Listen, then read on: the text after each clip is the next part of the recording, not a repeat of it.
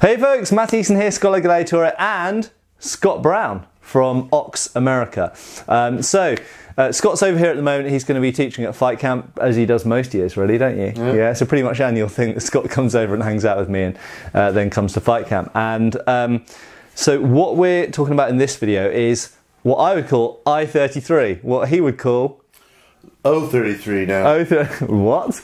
You don't know this? No. Uh, so, So yeah, I was expecting him to say 133. so just to explain, for uh, any of you who's just tuned into this and you like, what are these guys talking about in their in the sh- an American and a British guy in a shed talking about some numbers? So, so what I 33 is a is a, a catalog uh, is a, a essentially a library reference number. Okay, the I is the Roman numeral I or one in, in Latin uh, counting, and uh, it's a source on sword and buckler fencing, the earliest surviving European fencing source that we know of. Um, and it's on the use of the sword and buckler, and it's kept by the Royal Armouries in Leeds. Although the actual source itself is not British, it's um, Southern German, I think, is the current theory. But anyway, German, let's say.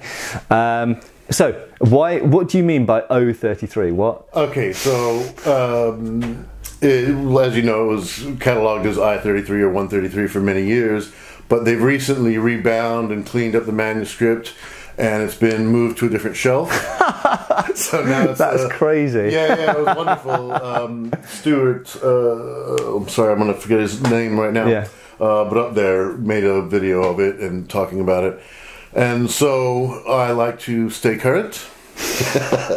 um, it'll be hard to get people to change from calling it 133, uh, but the the manuscript has a ton of names. The Tower Fechtbuch, which was where it was originally refound At the Tower of London, at the Tower of London, um, sometimes called the Walpurgis Fesh from the because the woman character in it is on the final plate. supposedly well, Well, she's titled as Valpurga. Okay. Uh, which Valpurga that is is open for debate, of course. Um, uh, sometimes it's called. Uh, uh, I forget some of the other names off the top of my head, but So that's an interesting point, actually, and I'll just jump in there before we go into talking a little bit more about the source. And and, and you'll notice Scott's holding a buckler actually from his own uh, company originally, HEMA Supplies. They're not available at the moment, but hopefully will be again one day. they're in the works. Um, but anyway, very nice bucklers. Mine's a bit rusty, sorry about that. Uh, but um, it's a sword and buckler source. But what's interesting is not only is it a sword and buckler source and it's the earliest European fencing treaties that we have, but also it's incredibly uh, detailed. It's got a lot of plays, but it's got a, a female, a woman fencer in it um, called Valpurga. And there's some debate about whether that's supposed to be representative of a saint, I think, Saint Walpurga, or Correct. um, or whether it's an actual um, girl fencer, uh, woman fencer. We don't know. But anyway, we'll leave that topic. But it's really just so that you guys, if you didn't know that, now know that, that the earliest European fencing book has a woman in which is interesting because a lot of people make bizarre comments about um, women in historical swordplay. Obviously, today, no issue, but, but kind of like, there you go, the earliest European fencing source has a woman in it. Important fact to know, okay? But so, I 33, I'm going to, I've called it I 33 all my life, I'm going to keep calling it I 33. Um, I 33 what is it? Like is it, it it's not a manual is it? And i think that's where it's diff- it's important to talk about the difference between what's a treatise what's a manual but also what's this. What is it? Well, so technically, this is a manuscript because it was done by hand and not printed. Um, uh, there's a lot of debate on whether it shows a codified system or a complete system. Uh, well, I think the notion of a complete system is farcical in pretty much any. Uh, is it ever possible to put a complete system in a book you know in a few pages of manuscript Um, but I do feel it's rather undeniable to suggest that it's not a codified system, uh, in the sense that there is an underlying structure, and uh, particularly in the case of this, it, this is an extremely sophisticated manuscript, even by much later standards, and I'll go into that in a moment. Um, it has a, a clear pedagogical structure to it. It has a, a clear uh, sequence of, of instruction, not necessarily the clear sequence of how to train someone, but a clear sequence of thought processes. Um, uh, it's very analytical in its and it's self-referential.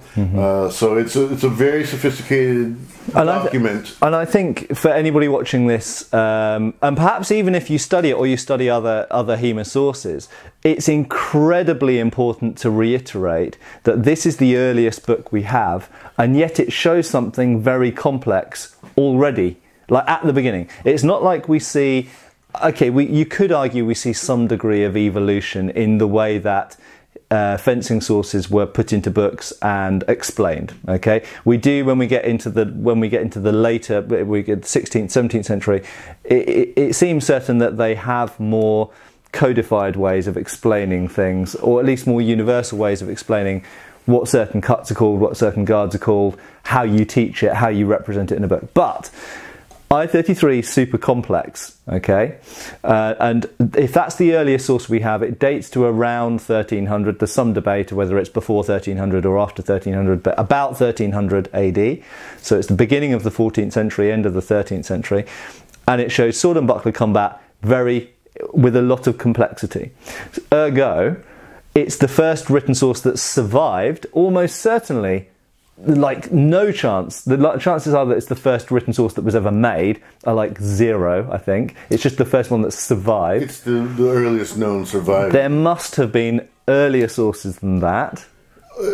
it tends to indicate it. The level of sophistication in this, um, uh, honestly, we don't see this degree of sophistication at least for hundred years. If you want to look at the Fiore manuscripts, um, but realistically, some of the fencing. But we don't have anything. But we don't have anything. You go from you go from I thirty three and thirteen hundred, and then you've got you've got uh, Dobringer or the the earliest Lichtenau uh, lineage sources and Fiore around 1390 1400 and that's it. So, so you've got a jump of 100 years, basically. You've got I-33, then you've got 100 years before you get anything else. Uh, and, and, you know, for uh, it, all the evidence suggests that whatever existed before I-33, whether it was written or verbal, whether it was just an oral tradition that was passed down from uh, teacher to student, frankly, as most martial arts are, okay, most martial arts don't make books, even today, because you don't need to. If you've got lots of students and you're teaching the students, they're your books. You don't need to make books for people who don't know you. discipline. Yeah. Um, so it's, making books is weird. It's outside of the norm. Okay, it's not normal. Lichtenau lineage seems to have a particular obsession with making books, but other lineages we know existed didn't have an obsession with making books. Well, and examine the Lichtenauer uh, manuscripts. They are largely hodgepodged. Uh, some of them are structured around the the Lichtenauer Zettel, uh, and many of them are not. However, they're just sort of slapdash together. There's no clear underlying pedagogical structure in them until, you know, really until Meyer, I guess, uh, Joachim Meyer. So. Um, So my, my my assertion, sorry to jump in, but my just to keep it with the previous point before we move on to like my assertion would be that I-33 represents a, an established, organised system that had probably been passed down for generations, perhaps unchanged or relatively unchanged. Who who knows how far back? Now the question we get into there is when did sword and buckler appear as a thing? and as far as my uh, studying of medieval art is concerned, the sword and buckler became an incredibly common sidearm set in civilian life and military life, but particularly in civilian life, in the 13th century. Okay, so it could be that we have about a century of tradition leading to I-33. Right, and don't forget, there's uh, we don't really know where or why Buckler appeared, but the, you know these are crusading days, and there are a lot of Buckler systems uh, in you know the Middle East, North Africa and the Middle East, yeah, yeah. So there's there's conjecture, and I think there's some merit to the conjecture, although not proven, that maybe the Buckler was even borrowed from conquests abroad and brought. I mean, it is modified. interesting to note. I mean, so we have treatises from Persia, from Turkey, Ottoman Empire, and from uh, the Mamluk Mamluks. lands in, in Egypt. And in all of those cases, they were using a sword with a buckler. And all of the earliest treatises that we have surviving to us from those traditions are also about the same type of time as I-33. They're about 1300. They also have a similar um, illustrative layout. Yeah, um, with you know the over and under images. yeah, yeah. Uh, typically four characters per page, although many on horseback, but especially in the Memlist. So there could be some interrelation there of the fact that you know suddenly these personal combat, rather than Vegetius type of military treatises where you're talking about armies as a whole, um, uh, rather these kind of the medieval mindset, personal combat, almost dueling uh, treatises. Interestingly, start to appear about the same time in North Africa and the Middle East and Europe, which is the 14th century. Yeah. Um, yeah. maybe maybe 13th century at the earliest. But in terms of the system itself, I think that we can confidently state that I-33 is a 13th century system because it wouldn't spring into being in the year 1300. It must have had some lineage behind it. No, the the level of detail, uh, the complexity of technique alone, um, and the structure behind it clearly indicates that there was a lot of thought into this, and that's not something some guy slapped together over an afternoon. Um, there were clearly there was clearly a team of, of, of constructors for the manuscript. Uh, in terms of illustrators, in terms of scripters, in terms of writers, and presumably advisors. If they were not the same men, they may or may not have been. Um, the, the so a team put this together, and and it's like I said, it's self-referential, and the, the sophistication, the pedagogical sophistication uh, of this, we don't we don't see for another hundred years at minimum. Uh, surviving, Yeah. Uh, so you don't just sort of like that's not a first draft of how I make a fencing book, Yeah. Right? By no means. So we talked about the context of I-33. I think that's there are many other things we could say. Some people would want us to look at is there a relationship to older sword and shield combat and stuff like that. I know there are people out there trying to reconstruct sword and shield use. For example, the centre bossed gripped shield from the the Viking era. Is there a relationship to I-33? We don't know. We're going to leave that. That's a whole big topic, uh, can of worms. We're just going to leave that for now. In terms of I-33, so I've never studied that source, but I've been good friends for many years with a number of people who do. There's you, there's David Rawlings over at London Longsword Academy, there's various other people we know. Sonato, Frank Sinatra, mm. Roland Warzecha, there's various oh. people out there. Colin Richards has done a bit, and, and uh, yeah, so so various people out there have done a bunch of stuff, and even Oz actually in the early days. Martin Ostwick of English The Martial Emma Arts guys in Toronto have been looking at. it So for a long loads of people have worked with this source uh, with varying conclusions, varying results. What are some general things in your mind which characterise this system? Is it a is it a is it a balanced cut and thrust system? Does it um, it doesn't have much grappling close in stuff in it? It's got a tiny bit. It's got some, yeah. Yeah, it's got a sum. Um, is it a is it a civilian dueling system? Is it? I mean, I, I so when this question comes up, I often feel in this period there's no real difference between civilian sword use, military sword. It's just how to use a sword. Yeah. It's the military sword. There's no division yet between civilian swords and military swords. There's just swords. The way I guess I would articulate this from the other angle, I would say there's nothing really to suggest that it's a military source in terms of structure.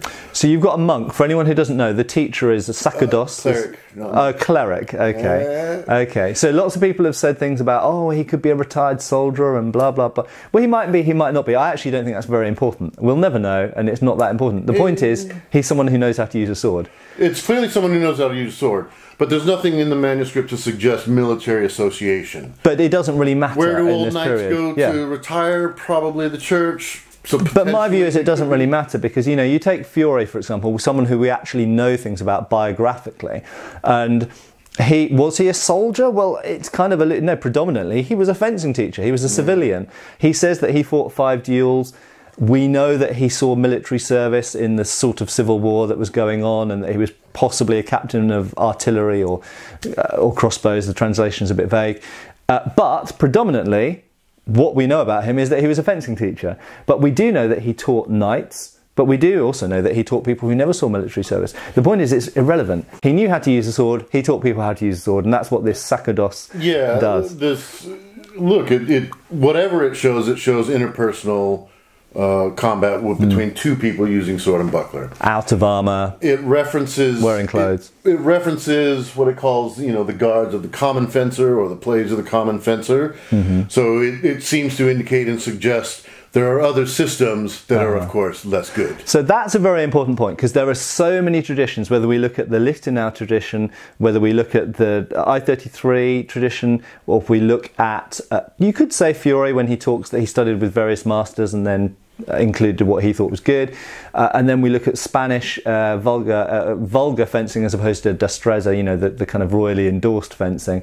So in many traditions, we see this separation between, oh, this is what we teach, this is the way we do it we don't do this and that the way that those common fencers do it over there. What in I33 is the definition of a common? What does a common fencer do that the I33 fencer doesn't do? Is there a separation? Well, yeah, there is. And so they outline some basic guard positions and say these are the guards of the common fencer. and one of them is just, isn't it Hauptschild? no, that's not. Ah, and, and okay. we'll talk, and let's talk about that in Okay. detail. This is how little I know about I33. Well, this is why uh, I think a lot of even 133 guys overlook this key important point. Anyway, the general seven wards of the common fencer are the kind of your generic generic positions where anyone would hold a sword. So whether that means there's guys with structured teaching that hold the sword this way, or you know Joe Schmo picking up a random sword, these are the at least basic positions they're going to run into. Um, don't forget numerology and superstitions of the day. You know, number seven is very p- important, which is w- might be why half shield doesn't show up. But we'll get to that in just a second. But I think to answer the question you're really trying to ask is what separates this system from other systems, is that there's a clear uh, strategic uh, attitude that when you close, you know, a lot of martial arts martial artists often talk about the closing because that's the most dangerous part of the fight, right? When you don't have control of his arms in an, in an unarmored context, um, when you don't have control of their sword in an armed context, that crossing over into that final range is the most dangerous part. So you, that's why we look to close with you know binding on a sword and then striking in when we know the tempo is free and that sort of thing. Um, so when the 133 talks about the closing, uh, they are very firm and consistent that you do so with your sword and buckler together. Uh, here, I'll just use this not accurate sword. Um, right, so you're, you're doing it with your sword and buckler closed together to provide protection, sort of. Some people feel in the sense of a uh, like a hilt. like a ba- like a basket hilt, creating a basket hilt. But also it facilitates the bind. It makes for a stronger bind because you can bind against in, in many yeah, situations, yeah, yeah. absolutely. Uh, and then they tend to generally work with the sword and buckler together, uh, although that's not entirely true throughout the rest of the manuscript. Is it a bit like almost like uh, like Wing Chun sticky hands in a way? It's almost like find the bind and then work from the bind. Um, my understanding of what uh, sticky hands might be different, so I'm not gonna. I, I, don't- I wouldn't want to make that correlation. Okay. No, I don't think I would do that. Okay. Without some further thought, at least. um, but it is closing under under better protection for your targets that are at the closest range, and then as you're coming into range. You know, then you're separating, but now because you have control of their line and their sword and their tempo, uh, in theory, uh, you're freer from that position to then separate for your strike. Okay. Although it does suggest don't don't do that often, but then it also guides you to shield knock and separate to make the hit. Versus, and there seems to be um, fairly clear. I think the longer you look at the manuscript, the more you tend to agree that the suggestion is other systems don't do this. Uh, and now, you know, when we look at the Bolognese systems, for example, which are uh, admittedly 200 years later, um, they do a lot of single time actions as well, but they'll do those single time actions with separations of uh, the sword and shield. So they'll parry high and cut low, sort of thing. Um, they do do some things with hands together, don't get me wrong, but the 133 seems to harp on this as a, a, a an intentional strategy and to stick with it, at least through the closing. So yeah, so my understanding is uh, one of the big differences. So the other big sword and buckler tradition we have is from Bologna in Italy, based on the Dardi tradition. So Dardi was around in the um, uh, 14th century and um, allegedly published some sort of work on the relationship between um, mathematics and fencing. Unfortunately, it's lost. It may turn up one day in Bologna University. It's one of the oldest universities in Europe. Has an amazing library, but apparently terrible organisation. And so uh, our friends over in Italy, for example, uh, the guys at Sala d'Arme Achille Marozzo, are constantly looking and every now and again discover some new bit of fencing text, which is amazing and exciting, but it's literally hand searching through. But the main traditions. So if people are looking at the I-33 tradition and they're looking at they look at Bolognese, there are some there are some key differences, aren't there? And one of the tradition, one of the biggest to me anyway, as a, as a non sword and buckler specialist, but who dabbles, um, and I dabble more in the Bolognese stuff, is that the um, sword and buckler are kept separate more in the Bolognese tradition, and in uh, I-33, the two hands seem to spend more of their time together. Um, At least during the closing. yeah. Um, And certainly the starting guards. I mean, you see, you know, you see the starting guards are often very similar. So you've got an overarm and underarm. you've got all the same positions as we see in the Italian sword and buckler material. But what happens after that starting position is somewhat different. So we do see some blade only actions, rabats and stuff in the in the Bolognese. Uh, we see occasionally some buckler only actions um, and separation of, of the sword and buckler to do things, which you see a bit in I 33. It's not that you don't see it at all, but you don't seem to see it as much. No, there seems to be a clear. I thirty three seems to have this underlying. that They're not explicit in the in the dialogue, but in the practice, um, there seems to be this clear obsession with managing range uh, incrementally. And so, as you're closing with range, the first obsession seems to be to try to get control of their sword, some bind of some tor- sort, so that you can inch a little closer, um, rather than this cavalier cutting in deep and all that. Now, I say that, but one of the you know, and they do that through this mechanism they call the obsessios. Uh, the other closing strategy that they seem to favor is entering with a thrust, and that does tend to seem to be, uh, you know, But that's to find the bind, because if you enter with the thrust, the opponent has to bind against it. Correct. So yeah. both of their strategies are always about making sure that you've got. Uh, his sword occupied in the immediate, the first opening tempo. His sword becomes occupied on your sword somehow or another. When you say enter with the, so is that uh, long point essentially you're entering or lang, Generally, langort? yeah. Yeah, yeah. okay. Yeah. So essentially, so it's kind of what I was saying about the sticky hand thing. If to me it feels like you're sort of sticking the sword and buckler out there. You're sticking the buckler out there partially to protect the hand and partially to facilitate a better bind when you find it, and you're sticking the weapon out to try and elicit a reaction from them that you then work from. That you right, and depending on which manner they take the bind, Hmm. you know, there you have a decision tree of if he does this, then do that, and if he Yeah, does yeah, that, then do which this. we see in lots of other fencing systems, of Right. course. Uh, you know, even even modern foil or even even um, even you know military saber. Yeah, well, that's another. Uh, so Matt Gallus term likes the, the expression that this is a ward versus counter ward fencing system. So in other words, if you take up X position, Mm-hmm. I take up X Y position Mm. because it limits your options and whatnot. Uh, which is, you know, when you when we talk about, But then the actual action is dictated by the by the starting to make a movement. Well, And right, it- but as part of that closing, depending on the mechanical positions you're in and the mechanical oppositions, uh, obsessios that I make, Hmm. uh, I limit your options. So I either force you into another to change guard to another strategy, Yeah. or as I close on you, I limit your options. And that's very sophisticated, especially to be written down so early and so clearly that that's what they're doing. Um, and you don't really see this, especially this ward counter ward structure, until what? Um, Bendy guy. Uh, Well, I don't know. I'd argue you see it in Fiore. well, uh, again, and, but it's not named specifically Yeah. ward versus counter ward. I mean, it's a bit different in the Lichtenau lineage because you've got the four you've got the four core guards, Yeah. and then you've got the other additional ones that are, that aren't the four core ones. But in Fiore, in the Italian systems, uh, whether it's Fiore or Vadi, you've got 12 around that number of guards. If you go to the Bolognese material, you've got even more.